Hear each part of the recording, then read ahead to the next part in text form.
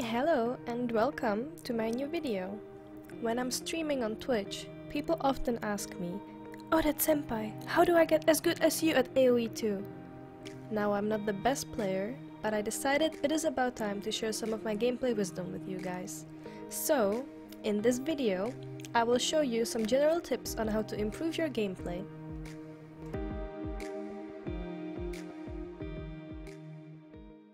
Making villagers should be the first thing you do once your game launches and is the key to having a strong economy. Ideally, you want your TC to never be idle.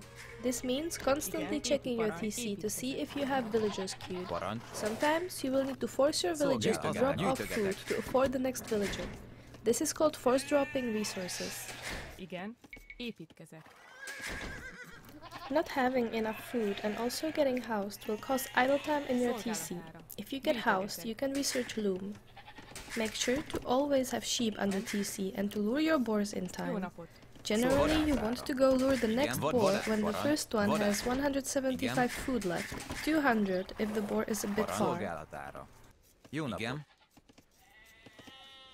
Megyek. Jó napot. Voda, Always making villagers is one thing. Another one is making sure all of them are working. Remember to check for your idle villagers often by using your assigned hotkey. Parancs. You can also see your idle villager count next to your population count. Vadászó. Szolgálat. Jó napot. Igen. Jó napot. Épít, építkezek. Szolgálat. Waypoints are used to plan a unit's next actions. This not only makes scouting a lot easier, but can also reduce idle time on your villagers. Here, I set the first waypoint on the house being built and the next one on the sheep.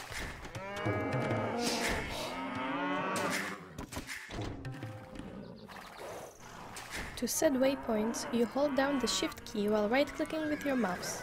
You let go of shift on your final click and the unit will follow any waypoints you've made. Here, I assign the boar villagers to take the sheep next, and here, I send the monk to pick up the relic and bring it back to the monastery.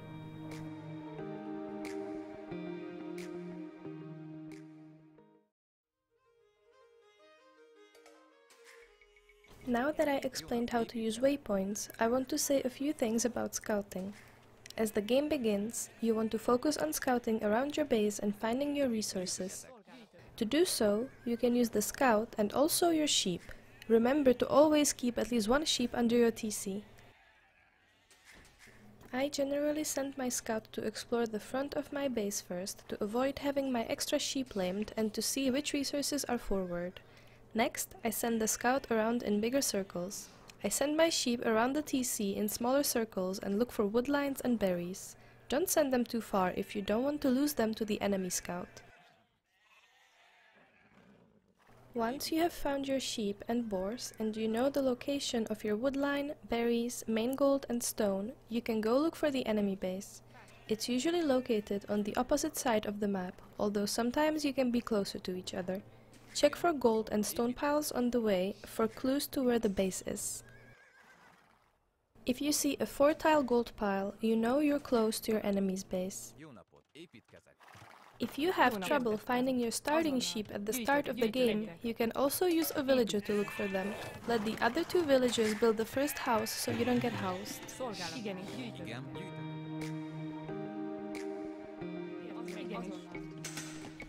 There are two ways to wall, walling around your base and walling your resources in to keep the villagers working there safe. For walling, you can either use buildings or palisade walls, and of course later on, stone walls.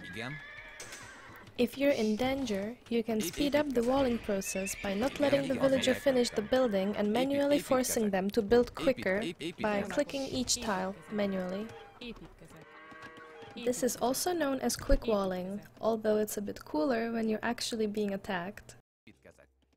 Építkezek. Locking your gate and sending a unit outside your base will allow you to see if there are any holes. And, as the saying goes, there's always a hole. Lights will guide you home.